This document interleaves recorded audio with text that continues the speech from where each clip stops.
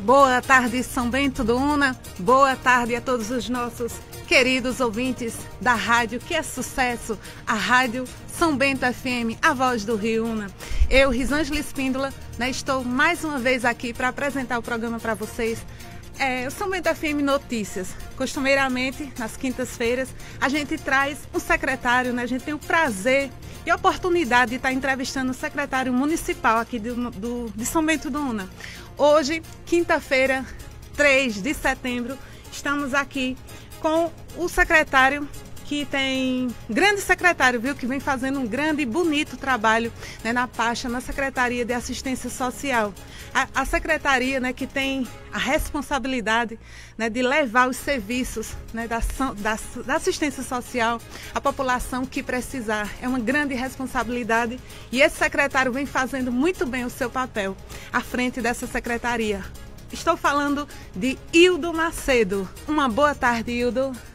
Boa tarde, Risângela. Boa tarde a todos que nos acompanham. É mais uma vez uma grande satisfação poder estar aqui no São do Notícias para poder conversar sobre a assistência social, sobre os nossos trabalhos, sobre aquilo que estamos desenvolvendo para o bem de nossa gente. Então é sempre uma alegria e uma honra muito grande participar do programa.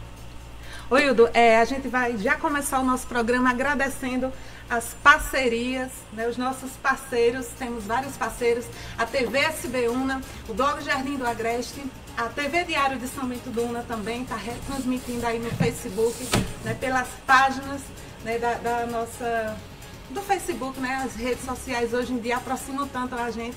E desde já a gente agradece nessa parceria, principalmente também os nossos ouvintes, nossos amigos, parceiros que estão sempre com a gente. Hoje, como eu falei, quinta-feira, né, temos muitas informações para os nossos seguidores, nossos ouvintes e uma semana bem corrida, né, Hildo?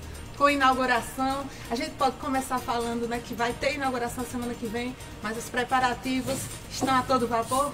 Exatamente. Nós já conversamos com essa excelente notícia, com essa prestação de contas.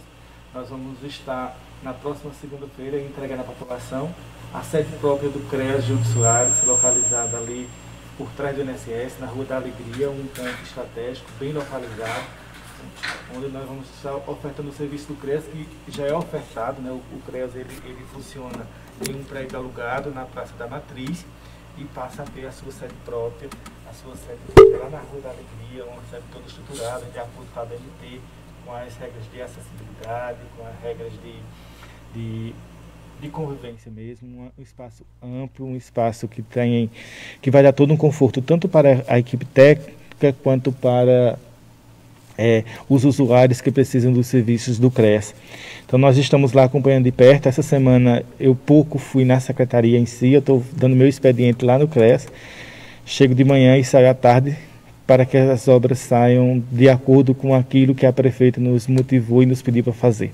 Então estamos cuidando com cada detalhe, cuidando de cada detalhe com carinho, com atenção, para que o usuário seja bem atendido, para que a nossa rede social assistencial seja estruturada.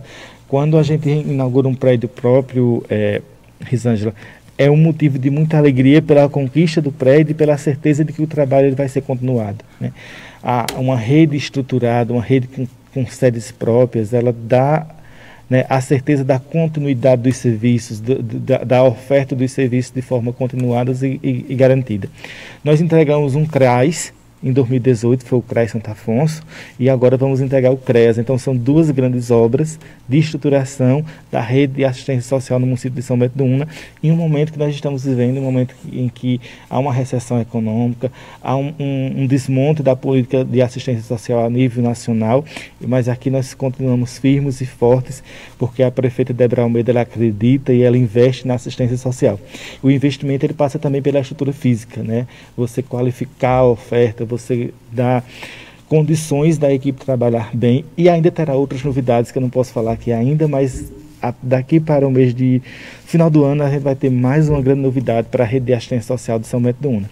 De início, essa, né, a inauguração, além do prédio, os equipamentos. Os equipamentos serão novos, nós já fizemos um processo licitatório e, e nós compramos com muito carinho, com muito cuidado, esses, esses equipamentos já chegaram e nós vamos estar, estamos acompanhando a obra. Assim que a empresa for liberando os espaços, nós vamos lavando, vamos montando para que na segunda-feira possamos entregar à população e na terça-feira os nossos trabalhos continuam de forma é, continuada, né, vai seguir o, o, o, o, ritmo normal de atendimento do CRES, mas já na sede própria.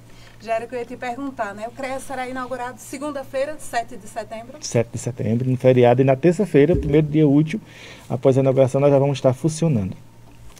Aí você em casa pode estar se perguntando o que é um CREAS e qual a diferença de um CRAS e de um CREAS. Já era o que eu ia te perguntar, né? O que é o CREAS? É o Centro de referência em atendimento e assistência social. Isso. Você poderia explicar melhor para a gente? O CRAS ele é o Centro de Referência em Assistência Social. Ele é a porta de entrada e ele trabalha na prevenção de que haja violação de direitos das pessoas, famílias e indivíduos. O CREAS ele é o Centro Especializado de Assistência Social. Ele atua quando já há um risco de violação de direito muito grande ou houve a violação. Então nós temos uma equipe que ela é mais, não é que ela seja mais capacitada, mas ela está com foco voltado a re significar esses direitos, a garantir esses direitos. Nós temos também uma equipe de advogados para entrar, porque nesses casos de violação de direitos, e muitas das vezes precisamos acionar a justiça para conseguir reverter as situações. Então nós temos essa parceria também com o Poder Judiciário, com o Ministério Público, com o Conselho Tutelar, trabalhamos muito em rede para efetivar o sistema de garantia de direitos. Então nós trabalhamos de forma vigilante, é, o trabalho do CRES ele não se dá somente no espaço físico, ele é bem mais amplo, ele se dá também nas casas, com as famílias, no acompanhamento, nos buscativos, porque a nossa equipe ela também está fazendo esse trabalho de buscativa tanto durante o dia, que como eu já mencionei na entrevista, em áreas de de vulnerabilidade, de risco social, como também nós fazemos o buscativo noturno, para identificar pessoas em situação de rua, ou moradores de ruas, ou pessoas em trânsito que acabaram ficando é, por uma noite ou duas em São Bento do Uno e a gente precisa é, garantir que essas pessoas sejam acolhidas e que a sua demanda seja sanada.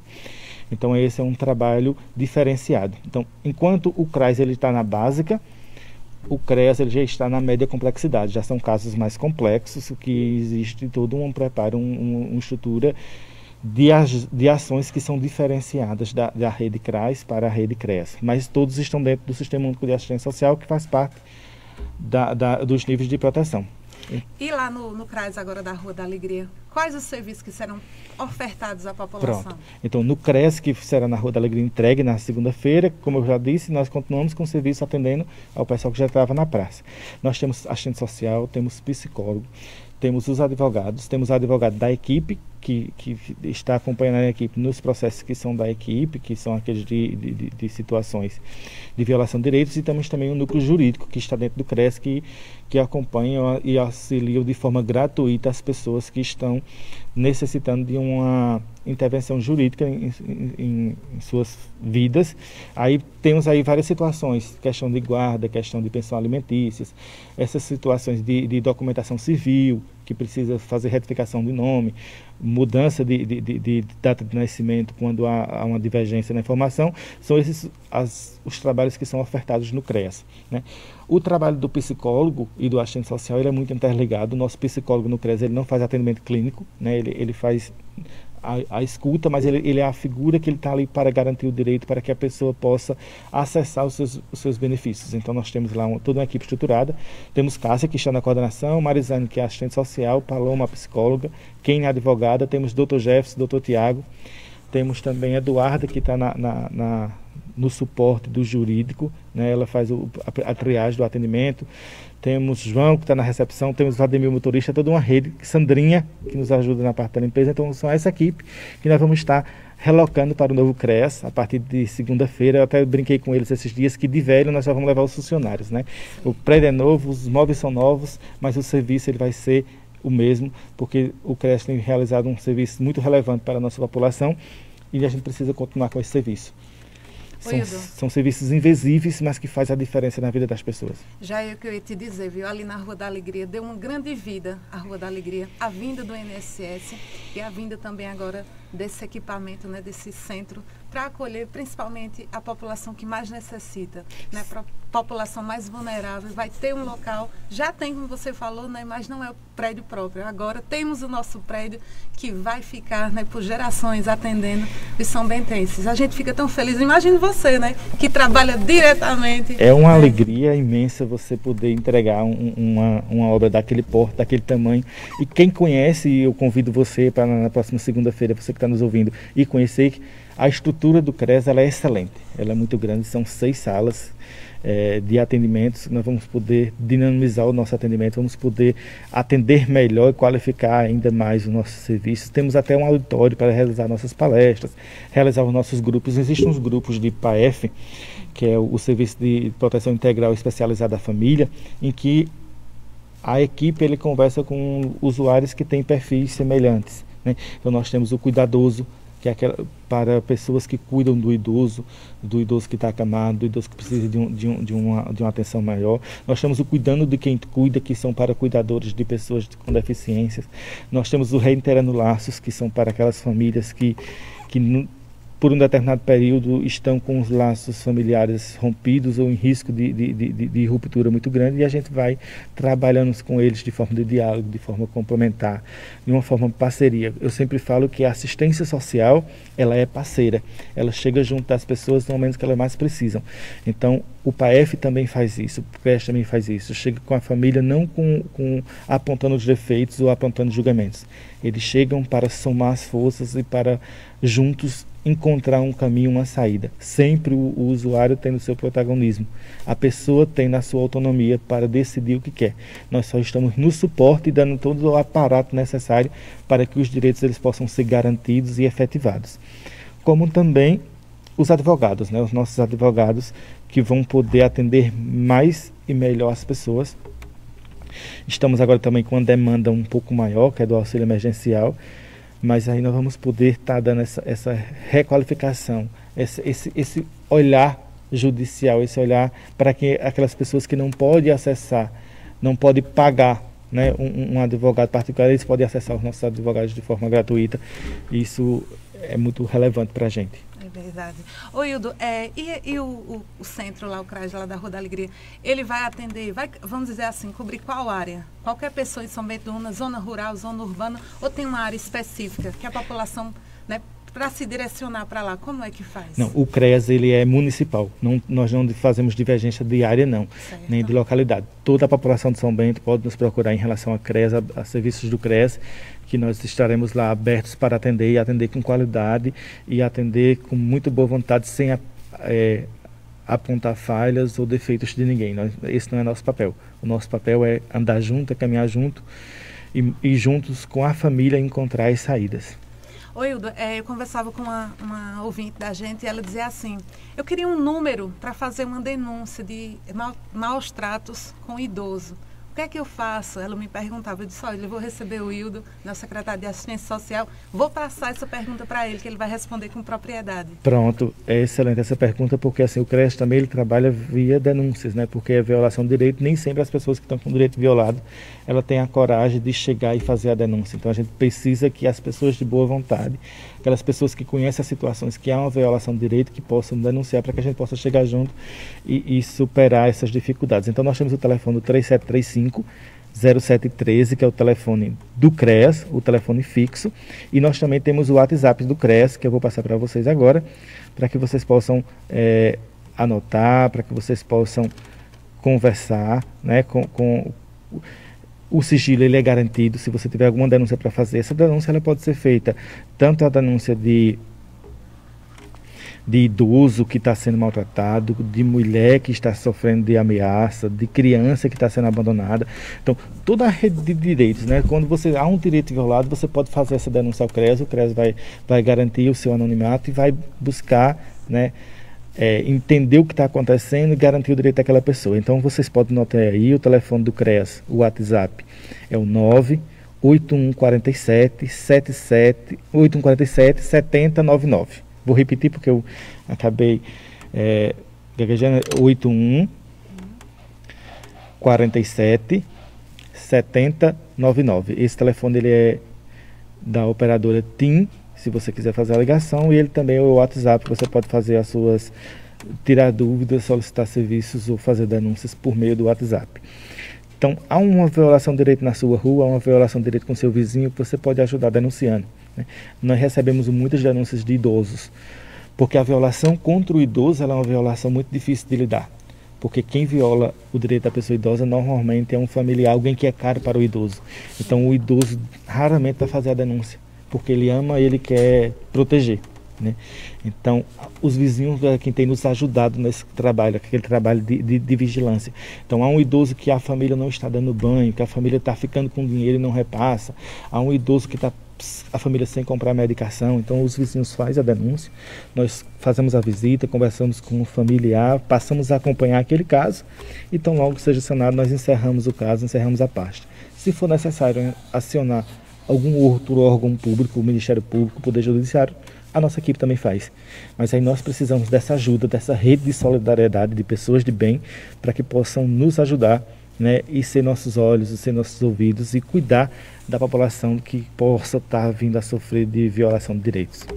Pois é, são 12h26, 12h26 e a gente está recebendo né, o secretário de Assistência Social aqui de São Bento Duna, o Hildo Macedo, né, que está dando um show, viu? Uma aula aqui, principalmente, né, como ele falou, para as pessoas que têm vontade de denunciar, têm vontade né, de, de, vamos dizer assim, de pedir uma ajuda, mas não sabe como. Então, você está dizendo que a assistência social sempre esteve e vai continuar do lado dessas pessoas com anonimato, né? Com Porque certeza. a pessoa me dizia também, o dela dizia assim, mas eu tenho medo do meu vizinho saber que foi eu que denunciei. Como você falou, é um delicado demais, porque é a própria família, né? É a própria família. E assim, nós pegamos várias situações em que é necessário fazer esse acompanhamento.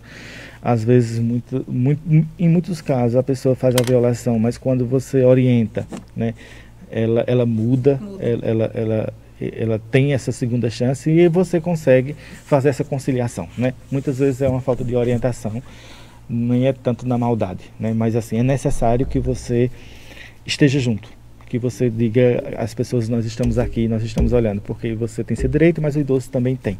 Então a gente recebe muitas informações de idosos e, e fazemos também, o CRES também ele faz um acompanhamento é, de forma sistemática do abrigo dos idosos né, que Sim. acolhe hoje 16 idosos, aqui no abrigo São Vicente de Paulo, o CRES sempre está em contato. Né, quando é necessário fazer um novo abrigamento, o CRES ele acompanha para que, que, que, a gente possa ter né, um, um, certo controle né, de um serviço que é socioassistencial. Né. É um serviço que ele é de uma ONG, de uma ONG, mas ele faz parte de uma rede de serviços de assistência no município.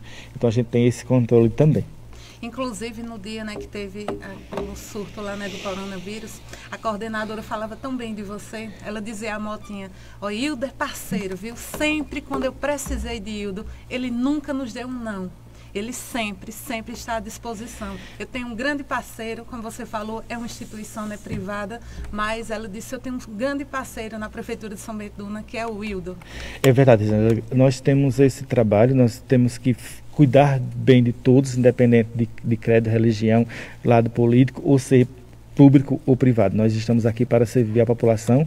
Foi para isso que, que Débora Almeida nos nomeou, foi para isso que o povo confiou a Débora o, o, mandato e nós estamos para fazer o bem. Eu tenho um carinho muito grande pelo abrigo dos idosos, tenho um carinho esse, assim, fora de comum por Dona Luzinete e Beatriz, que estão à frente, então assim, é, é, um carinho muito grande. E nós temos essa parceria. A Prefeitura, para quem não sabe, a Prefeitura ela, ela auxilia o abrigo São Vicente de Paulo, mesmo sendo uma, uma ONG. Nós pagamos a conta de luz, nós pagamos a conta de água. Não sabia. E nós pagamos o, o gás de forma integral, né? Toda a despesa com gás, água e luz é pela prefeitura por meio de uma, de uma, de uma parceria e uma resolução do Conselho de Assistência Social. Então a gente faz essa parceria e a gente ajuda essa instituição. Né? Quando houve também aquela situação do telhado, né, que o, o telhado veio a ceder, a prefeitura também fez a troca do telhado. Então nós somos parceiros do, do abrigo São Vicente de Paulo e ajudamos naquilo que, que nos é permitido. Porque entendemos que o trabalho que o trabalho realizado pelo Abrigo São Vicente é relevante, ele é importante e o Abrigo São Vicente ele é histórico e faz parte da história de São Bento do Una. Né? Eu, eu, conversava com a dirigente estadual do, do, dos vicentinos e eu falava que o Abrigo São Vicente ele é patrimônio do povo de São Bento do Una. E o povo de São Bento do Una tem esse cuidado, né? A prefeitura entra com essa parte, mas a, a sociedade em si, outros parceiros como o Grande Almeida, a padaria sertaneja também ajuda bastante lá. E eles fazem esse isso dá condições de eles fazer o trabalho que eles vêm desenvolvendo, né? garantindo esses direitos daqueles idosos que estão lá acolhidos, que são bem cuidados. Quem conhece de perto o trabalho dos vicentinos, o trabalho do Abrigo São Vicente, sabe que os idosos são bem cuidados. Né? Inclusive, mandar um abraço aqui para Cássia Roberta, que está aqui assistindo. Ela que faz parte né, do Conselho do Idoso. Isso, Cássia, Cássia é conselheira do Conselho Municipal do Idoso. O Conselho do Idoso é um conselho importante que ele recebe também né, várias denúncias.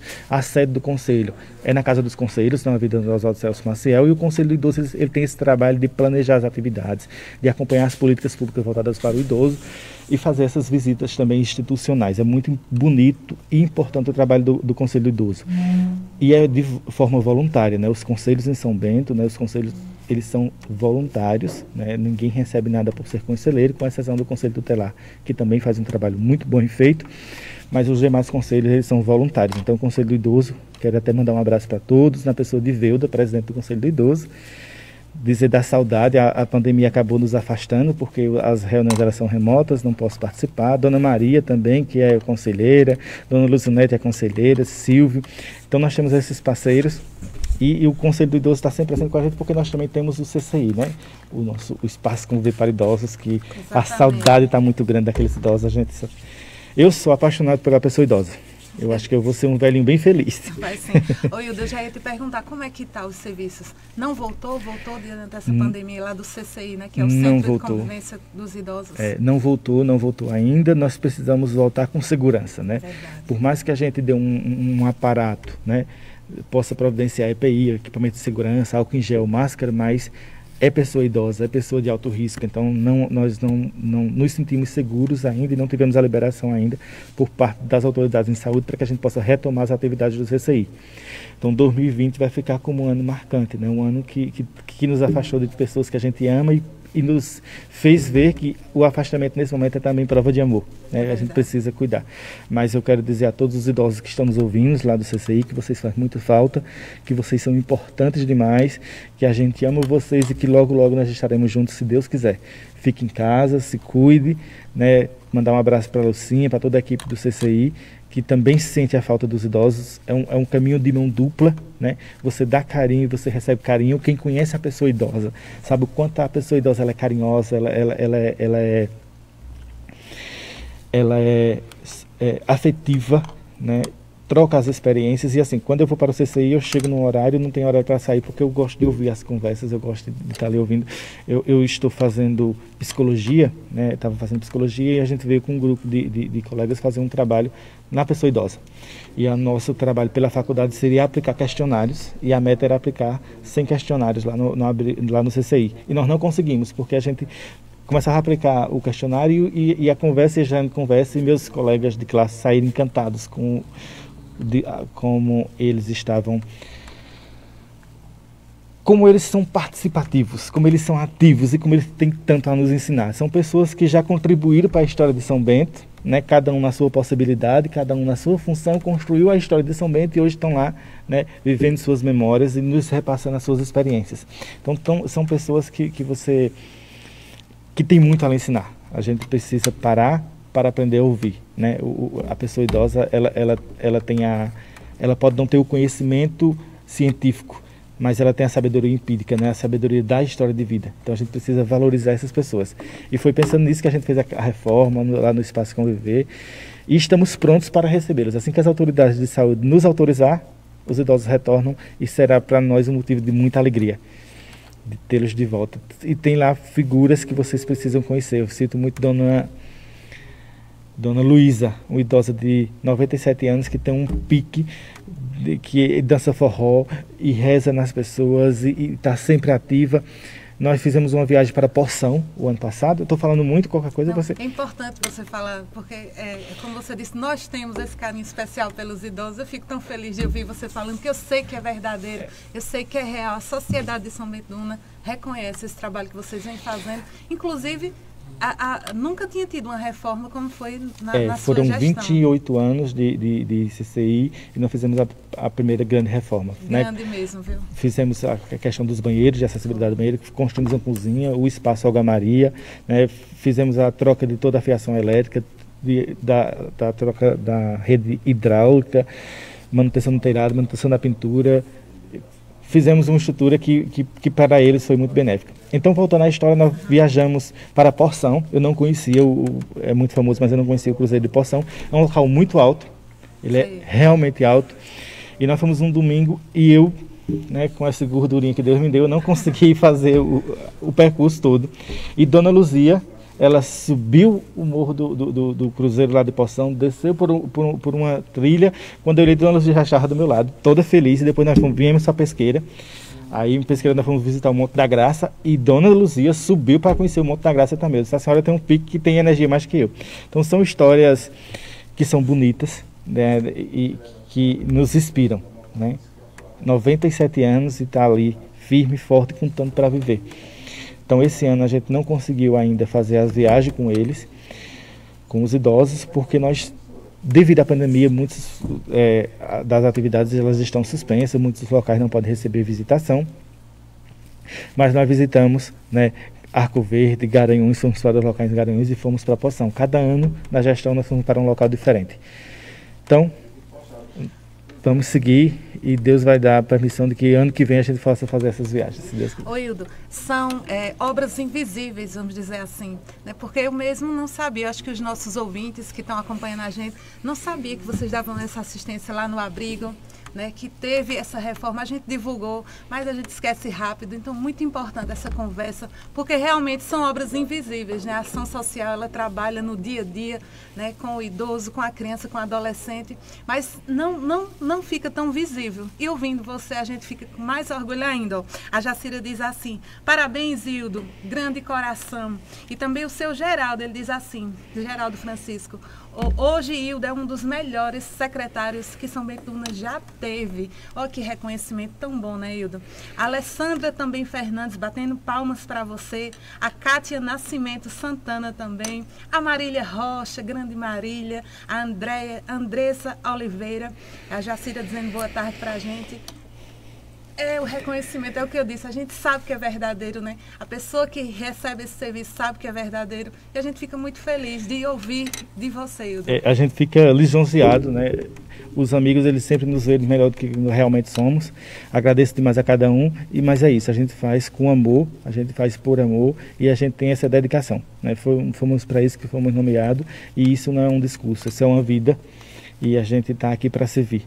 Que bom que estamos conseguindo atender as expectativas, né? E, e vamos arregaçar as mangas, vamos trabalhar, que foi muito, foi, muito já foi feito, mas há muito ainda para se fazer. E como você disse, são obras invisíveis, né? são obras que elas são invisíveis, mas são perceptíveis e faz a diferença na vida das pessoas. Né? E nós estamos eh, temos sim esses cuidados, esses cuidados com idosos, esses cuidados com as crianças e trabalhamos muito a subjetividade, a pessoa em si. Né? O que nós queremos é que as pessoas estejam bem e felizes. Então, para isso, nós temos toda uma rede, toda uma equipe de pessoas que estão trabalhando de forma vigilante para que as pessoas estejam bem e sejam bem assistidas. Eu quero até aproveitar e mandar um abraço para todos da minha equipe. Né? Nós somos uma equipe grande, uma equipe unida e que estamos pessoas aí em várias funções, em várias localidades do município prestando serviço, inclusive agora nas barreiras sanitárias tem pessoas da assistência social que estão lá cuidando das pessoas, fazendo a vocação. A vocação da assistência social é cuidar da nossa gente. Então, independente da função, independente da sua local de trabalho, o funcionário da assistência social está cumprindo o seu papel de cuidar da nossa gente. É isso que a gente sempre fala, né? Nós estamos aqui para servir o povo, para cuidar do povo e atender bem. Porque se eu ou minha mãe precisar do serviço da assistência social, ela precisa ser atendida e ela precisa ser atendida da forma como nós atendemos todas as outras pessoas. E a partir de segunda-feira, né, temos uma sede própria do CRAS aqui em São Bento do Una. A gente já convida você para participar, né, acompanhar pelas redes sociais, né, essa grande inauguração dia 7 de setembro, né, vai ficar marcada ali na Rua da Alegria, em São Bento do Una, que recebe mais esse equipamento né, para acolher, como o Hildo disse, as pessoas que necessitarem, né, as pessoas que precisarem dos serviços, com certeza vão ter esse braço amigo, né, vão ter essa mão amiga para ajudar. E a gente, 12h40, eu vou falar rapidinho, Hildo, aqui os nossos patrocinadores, que é importante né, a gente ter essas parcerias para levar informações para os nossos em, em seguidores também, ouvintes e todo mundo que está acompanhando a gente. É o frigorífico Ipojuca, a marca que alimenta, no né, aniversário de um ano frigorífico fez um ano de aniversário, um grande sucesso, um mês todinho de promoção. E hoje continua em promoção, viu? Agora são quatro galinhas por apenas 20 reais. O frigorífico Ipojuca fica ali do lado do Banco do Brasil. Não tem erro, viu? Você já chega ali na rua Dona Lídia, Banco do Brasil, você já vê logo o frigorífico Ipojuca, do nosso amigo Danilo Almeida e família. Um abraço, Danilo. A GS Móveis também está levando conforto para o seu lar. Grande loja aqui em São Bento do Una.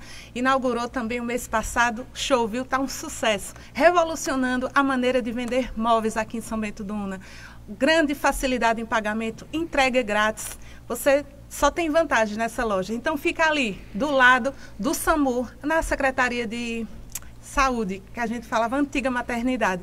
Também é um local bem fácil. E vamos falar também da Motopeças Mais Barato, do nosso amigo e irmão Doutor Show, ali na rua de Dona Lídia, um local que você encontra grande variedade de peças para sua moto e também os serviços e mecânicos especializados que você só encontra na Motopeças Mais Barato.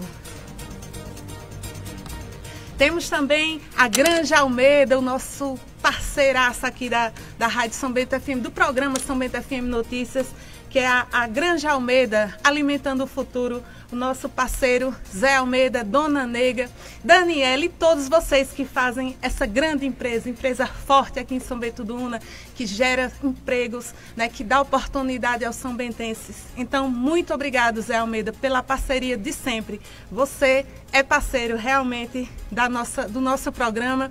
Né? Muito obrigado. Também vamos falar da drogaria Vida e Saúde. Vida e saúde para a sua família, para o seu lar, em dois endereços para melhor lhe atender. Lá na Praça Historiador Adalberto Paiva, vizinho à lotérica. Não tem erro, mesmo ali no centro, coração de São Bento do Una. E também do lado da rodoviária. Né? São dois endereços onde você encontra grande variedade de medicação, perfumaria e tudo né, que você precisar.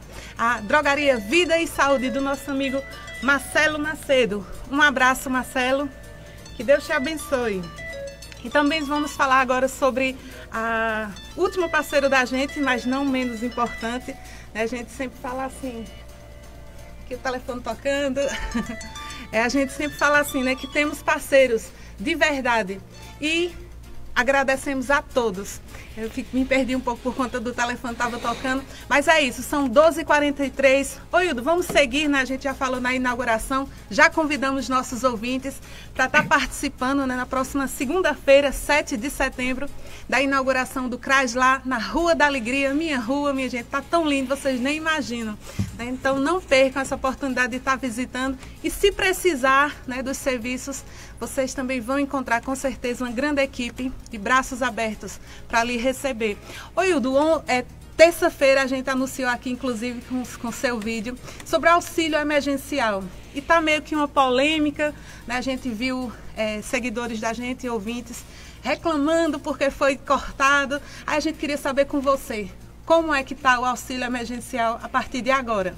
Pronto, é, boa pergunta, Rosângela. Até naquele vídeo eu, eu, mencionei que não tinha saído a portaria ainda para que a gente pudesse dar maiores explicações de como seria o novo auxílio emergencial. Hum. Essa portaria ela foi publicada ontem, né, no Diário Oficial, que é a portaria 1000 de 2020 de 2 de setembro de 2020. E o auxílio emergencial ele tem um novo nome, auxílio emergencial residual, de acordo com a portaria, e foi modificado o valor do auxílio emergencial. Ele foi prorrogado até o dia 31 de dezembro, então teremos aí mais quatro parcelas, setembro, outubro, novembro e dezembro.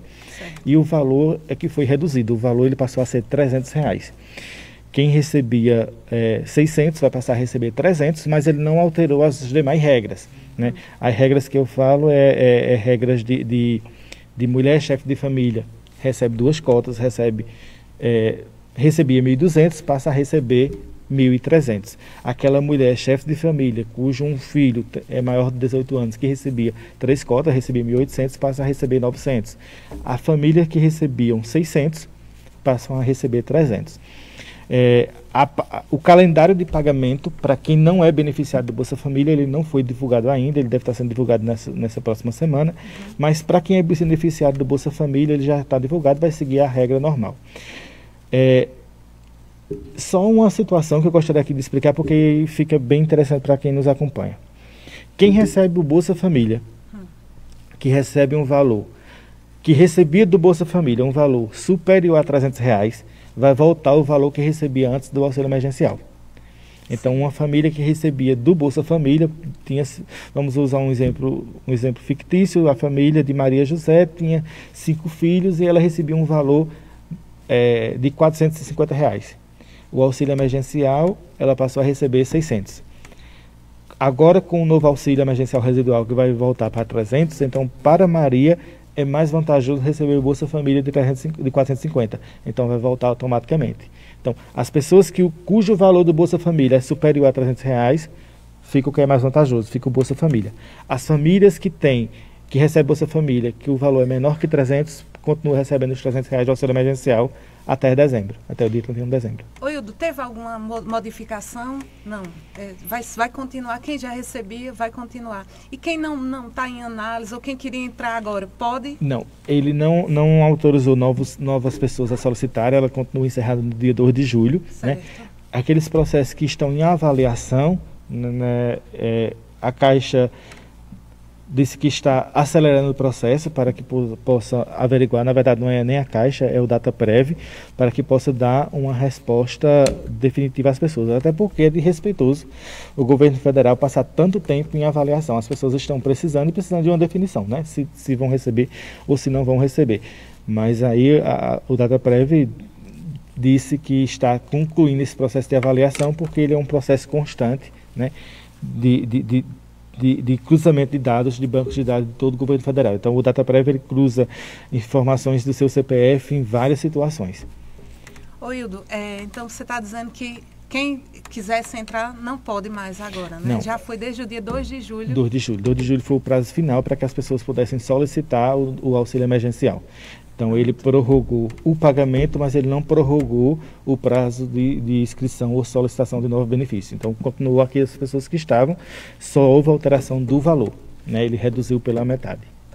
É, oi, Hilda, outra, outra dúvida que a gente tinha, é, recebeu na terça-feira é sobre. É, teve cortes, teve alguém, algumas pessoas, inclusive aqui em São Bento do Una, mas também vi que foi no Brasil todo, escutava da Atena, né, ele estava explicando junto com o secretário Onyx, ele dizia que teve muitos cortes por conta de fraudes.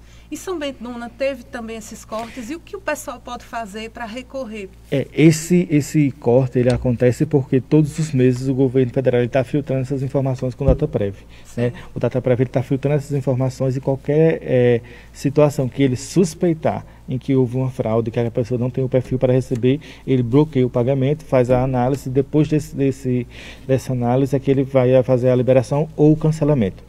Os canais que o governo federal disponibilizou para a gente repassar para a população é o 121, que é o, o, o número do Ministério do, da Cidadania, é 121 ou 111, que é o, o o número de atendimento da Caixa. Infelizmente, no município, nós não temos acesso para fazer reversão ou para solicitar o desbloqueio desse benefício.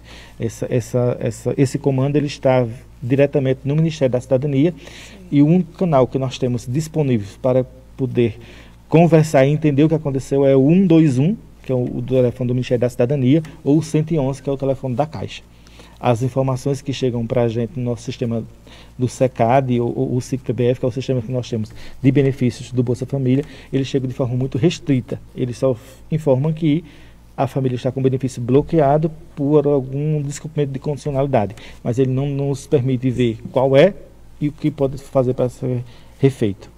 Oi, Hildo, e a Prefeitura de São Bento no caso a Secretaria de Assistência Social, está colocando algum advogado, alguma pessoa para estar tá dando uma ajuda? Porque quando a gente vai receber que olha que está bloqueado, já dá uma dor no nosso coração. Exatamente. A gente já entra em desespero. Recorrer a quem? Quem vai me ajudar? Porque se eu espero o mês todo para receber esse dinheirinho, quando estou lá, está bloqueado. Então, o que fazer? Essas pessoas que tiveram né, o seu benefício, o seu auxílio negado, o que fazer? Negado não, bloqueado, né? Isso. Pensando nessas, nessas situações e também ah. teve as situações de alguns né, de, de, algumas outras pessoas dos contratados que tiveram o benefício né, que estava em avaliação a prefeita disponibilizou os advogados do CRES então nós conversamos com o Dr. Jefferson, o Dr. Tiago com a Eduarda, com Kenia e nós temos essa estrutura de pessoas para fazer petições né, e entrar com ações judiciais para que o governo possa é, desbloquear esse benefício se a pessoa estiver dentro dos critérios. Né? Se a pessoa estiver com o benefício bloqueado porque não cumpriu os critérios, aí infelizmente nesses casos não há muito o que se fazer. Mas se a pessoa está dentro dos critérios e está com o processo em avaliação ou com o bloqueado de forma indevida, aí nós já estamos lá com os advogados para que a gente possa fazer essa, essa solicitação e tentar o mais rápido possível fazer o desbloqueio desse benefício. É, a demanda ela foi muito grande, né? A, a demanda ela, ela, ela, ela superou todas as nossas expectativas. Então houve assim um, um, um, uma demanda muito grande para a oferta. Então nós tivemos que fazer agendamentos prévios, né, para que as pessoas fossem atendidas e conversar com o advogado. Mas nós já estruturamos também é, de forma que possamos atender as pessoas em menor tempo possível. Então a gente vai estar ligando para as pessoas que tiveram o atendimento. Teve algumas pessoas que foram agendadas para o dia 20 de setembro, para o dia 22. Então nós fizemos uma organização interna para que a gente possa atender mais em menos tempo e nós vamos estar ligando para que essas pessoas que foram agendadas para posterior voltar ao CRES e a gente já agilizar o atendimento. Então, essas pessoas que estão agendadas a partir aí do dia 20 de setembro, do dia 21, 22, elas vão receber a ligação da nossa equipe para que elas retornem e a gente possa agilizar o atendimento. Esse, esse, esse, esse agendamento foi um pouco extensivo por conta da demanda e a gente precisa fazer as coisas, né? É, de forma segura, de forma bem amarrada, para que esse benefício ele, ele só seja negado se realmente a pessoa não tiver direito. Então, leva um tempo, demanda um tempo, o atendimento do advogado, a preparar a documentação, preparar a petição. É por isso que a gente estendeu um pouco mais o agendamento, mas nos organizamos, conversamos com a equipe, conversamos com os advogados, chegamos a uma solução, uma solução que é benéfica e nós vamos estar antecipando esses atendimentos e logo, logo todo mundo já vai estar sendo atendido e quem quem a gente vê que o governo equivocou, nós vamos estar entrando com ação judicial para que o benefício possa ser retomado. Então, a, as pessoas, né, os nossos ouvintes, seguidores que estão ouvindo a gente, se porventura né, já tiverem agendado, aguardem que vai ter essa ligação para que seja antecipada. Exatamente, nós já estamos, já estamos ligando e antecipando os atendimentos. Pronto. Junto com, como você disse, os advogados do CRES. Que, que volte o mais rápido possível, né? para que seja desbloqueado, porque realmente há casos que precisam de imagem. Né, você Sim. fica, como você fica quando alguém chega lá e diz, meu, foi bloqueado, e você sabe que aquela pessoa precisa. Que aquela pessoa precisa, e nos dá uma sensação de incapacidade, porque o governo federal nos tirou do município esse poder, essa, essa, essa, essa autonomia de a gente fazer a reversão do benefício. Sim. Então, nós ficamos de mãos atadas, mas aí encontramos esse caminho, o caminho judicial, para que a gente possa obrigar o governo federal a pagar aqueles que realmente precisam. Então, nós estamos seguindo esta linha. Muito bem, Hildo. Vamos falar aqui rapidinho com os nossos ouvintes, viu? Tem muita gente aqui comentando. A Marino Maranhão diz nota 10 para você, Hildo. Jo, o Josa também Alves batendo palma aqui, dizendo parabéns, Hildo. Os comentários vão subindo aqui também. Tem o Antônio Carlos, tá aqui com o coração vermelho. Tem também a Ieda, ó, Ieda também está aqui. Ela diz parabéns, Hildo e equipe. A Giselma também Costa está aqui com a gente. Obrigada, Giselma. É, o pai Johnny, inclusive, ele falava também, o pai Johnny é lá do Santo Afonso. Sim. Ele dizia que vocês fazem um trabalho excelente lá no Santo Afonso. Quando precisa de uma feirinha, de alguma coisa para ajudar, que ele também faz um trabalho né, assistencial. Sim. Ele disse que vai lá é sempre bem atendido. Nesse dia eu conversei com ele, ele estava tão feliz. Mandar que um abraço para ele também. Um abraço para Johnny, conheço ele. Gente especial, Gente né? especial. Pois é. A Aldelane também, ela diz secretária de Ação Social valente, olha. é, também a Marília, ela diz assim, que ganham para São Bento do nesse equipamento do CREAS. Muito bom, viu, Marília? A Rua da Alegria, você não sabe a alegria que a gente está. Já somos alegres e agora estamos mais ainda. A Clédia Cordeiro também está aqui, a Kátia Nascimento também está aqui batendo palma para você e dizendo boa tarde. Né? Muito bom ter vocês aqui com a gente, né? nossos, ouvintes, nossos seguidores. Não dá para ver todos porque fica subindo aqui o, o os comentários passam bem rápidos, então não dá para ver todo mundo. Mas a Joselma também, ó, a Joelma Calado, nossa amiga Joelma, ela diz assim: esse é meu secretário. Abraço, Joelma. Sandro também, o professor Sandro sempre está aqui com a gente, né? Ele manda um joinha, good. Muito obrigado, Sandro, pela sua audiência, viu? Vale muito, todos vocês. São 12h55. Oi, Hilda, então, para finalizar, né, sobre o auxílio emergencial, que foi a pauta da semana, né? Foi a pauta que todo mundo queria saber, todo mundo se perguntando, todo mundo mundo em dúvida, para você fazer um resumo para aqui para os nossos ouvintes o valor né, e essa, essas ações que podem ser feitas se for desbloqueado. Pronto, então vamos fazer um resumo, né? Pronto, pode falar com os, com os nossos eu ouvintes. Vou até virar, eu gosto muito de resumo porque eu sou professor, né? minha formação Exatamente. é professor, até é, e o professor, depois de sua aula de explanação, lá no finalzinho, faltando cinco minutos, a gente sempre faz um resumo para que o amarrado ele tenha um, para o aluno. Então, em resumo, o auxílio emergencial ele foi prorrogado por mais quatro meses, quatro parcelas. O valor dele foi que foi alterado. O valor caiu para 300 reais, caiu 50%. Quem recebia 600 passa a receber 300. Quem recebia 1.200, 600. Quem recebia 1.800 passa a receber 900. Para quem recebe Bolsa Família, que recebia mais que 300 reais, o valor vai voltar a receber o valor do Bolsa Família. Se o seu Bolsa Família era um valor inferior ou igual a 300 reais, você continua no auxílio emergencial. Isso é automático, não precisa você se preocupar. É, as pessoas que tiveram com o benefício bloqueado, o governo ele está reavaliando e ele disse que esse tempo de avaliação ele vai ser menor para que ele possa dar uma resposta positiva ou negativa. Para aquelas pessoas que estão em mais tempo a avaliação, nós estamos com os advogados do CRES para tentar acionar a justiça contra o governo federal para que esse processo seja agilizado e você tenha seu benefício desbloqueado. Conte conosco, nós estamos aqui para atendê-los.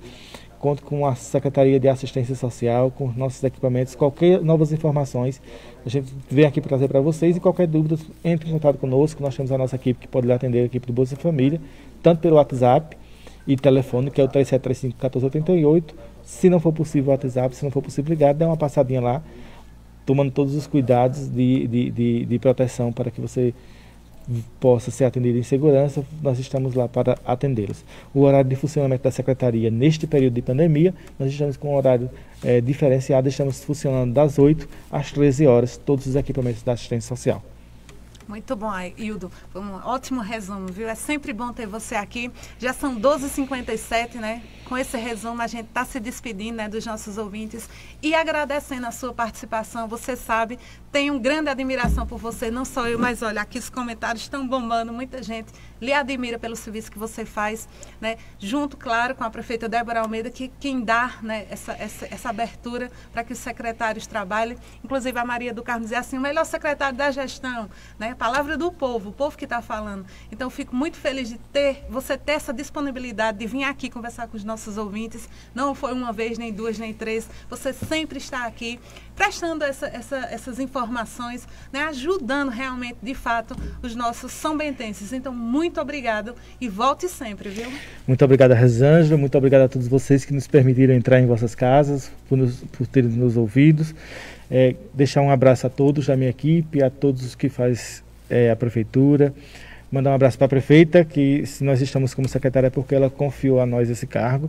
Um abraço para todos os meus colegas secretários e com, mais uma vez reforçar o convite para que na próxima segunda-feira você passe por lá para ver a entrega de mais uma obra à população. Né? Nós vamos estar entregando o novo CREAS, a sede própria do CREAS Gildo Soares, lá na Rua da Alegria, por estar do INSS.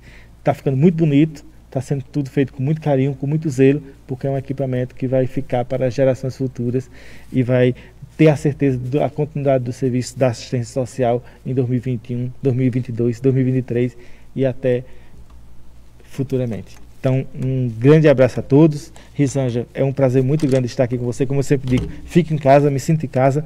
Falo mais que eu amo da cobra, mas é porque eu fico realmente à vontade com você. Então, muito obrigado pela oportunidade, muito obrigado a vocês de casa e que Deus possa nos abençoar. Você fala muito porque tem muita obra, muita coisa, muito, não deu para a gente falar nem metade do que a gente queria, porque realmente é muita coisa para ser falada em apenas uma hora de programa. Por isso que a gente sempre lhe convida, venha para cá para a gente estar tá conversando sobre os outros serviços. Venha com prazer. Então são 12h59, né? Vamos nos despedindo, agradecendo aos nossos parceiros, a TV SB Una, a Rádio São Bento FM, né? Por estar tá dando essa oportunidade da gente estar tá fazendo esse programa, levando informações para vocês, nossos ouvintes. Também a Netinho, o Luiz Borges, né, o nosso parceiro aqui na técnica de som, está sempre dando essa assistência, né, nos ajudando a fazer esse programa. Também os nossos parceiros Granja Almeida, Frigorífico Ipojuca, GS Móveis a drogaria Vida e Saúde, também a loja de motopeças mais barato, o nosso amigo Darinta Confecções também, um grande parceiro, sete anos com a gente. Um abraço, Darinta Confecções e todos vocês que fazem o programa com a gente. Já são 13 horas, uma hora da tarde e nos despedimos agradecendo a Deus por tudo, pela nossa saúde, pela saúde da sua família e dizendo que amanhã, sexta-feira, é dia de conversar, é dia de conversar com a nossa prefeita Débora Almeida, é dia de prestação de contas, assim como o Wildo veio hoje aqui, né, tirou um tempinho da agenda corrida dele. Amanhã a prefeita Débora Almeida vai estar também com a gente aqui, ou nos estúdios da Rádio São Bento FM, ou lá nos estúdios da TV SB Una, mas sempre sempre à disposição dos são bentenses. Muito obrigado, que Deus abençoe você. Se cuide, gente. Até amanhã, se Deus assim nos permitir. Muito obrigado.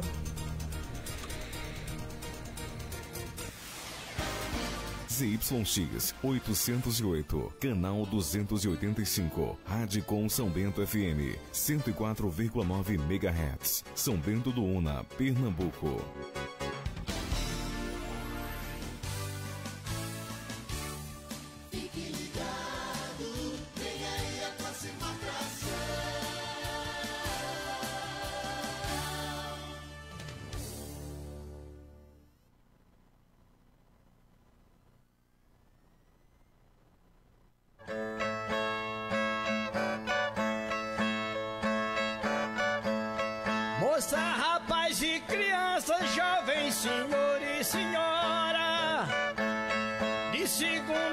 Sexta-feira, meu programa é.